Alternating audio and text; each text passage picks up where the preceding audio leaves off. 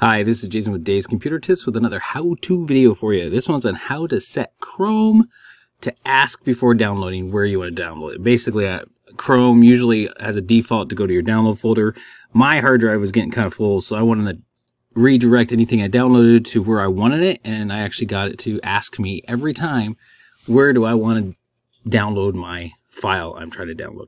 And I'm going to show you how to do that in this video using the web, um, the Google Chrome on my laptop. Um, before we get going, hit the like on this video. It really helps out our channel. Hit the subscribe notification bell so you don't miss any new videos I come out with every Thursday. So keep checking back every Thursday. Last week we did cover how to increase RAM on a Samsung phone. I'll put a link down below so you can check it out. So we're jumping off the Samsung subject since we've been doing that uh, for a few weeks. Now we're going to jump on to Google Chrome. So that's what we're doing right now. So let's get started. First thing you want to do, obviously, is you want to go to your, open up your, obviously open up your Google Chrome browser on your computer.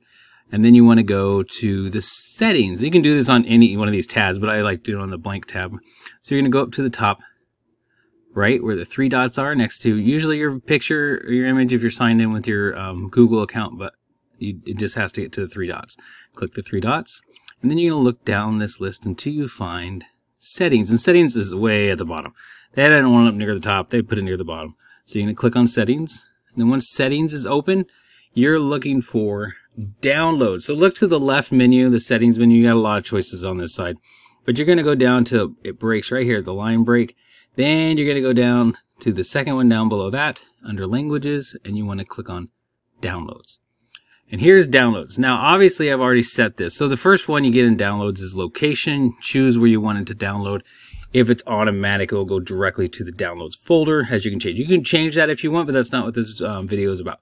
Um, the next one down is ask where to save each file before downloading. That's the one I want on. So I have it on, so you can have it off.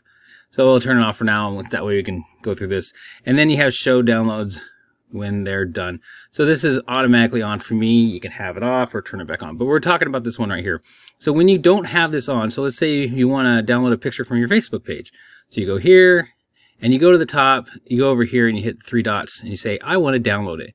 And right now I have it turned off. So it's going to automatically download to the folder that was designated to get the file, which was my downloads folder. Now I want to ask me, every time because I want to make sure the hard drive doesn't get filled up uh, with miscellaneous stuff I like to download.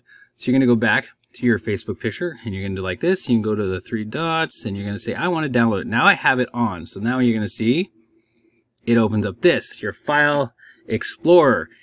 And you can pick whatever folder you want on your computer or whatever hard drive you want to put it on. And it, it's, it's real nice that it asks. I actually like it asking me. And I think most people would. I mean, if it's asking where to put it, that way you don't have to fill up a drive. Like your C drive gets filled up really quick, and that's your main hard drive. Have a separate hard drive, nice to do. So you can choose a different one. When you choose it, you just rename it to whatever you want. Um, and then uh, once you have that, you just hit save. And then I'm going to hit save, and it's saved to the folder I chose. It's that easy to do this. It's not real hard. You just want to make sure you have this switch on under the downloads under settings so make sure you turn that on and if you like you can change this if you want to keep it on automatic this will auto download you can change it to a different location but this is how you do it this is how to set Chrome to ask before downloading that way you know where your files are going that's it guys thanks for watching hit the like subscribe and the notification bell Make sure to check out davescomputertips.com. That's where all our articles are. And also make sure you subscribe to this channel. Thanks for watching.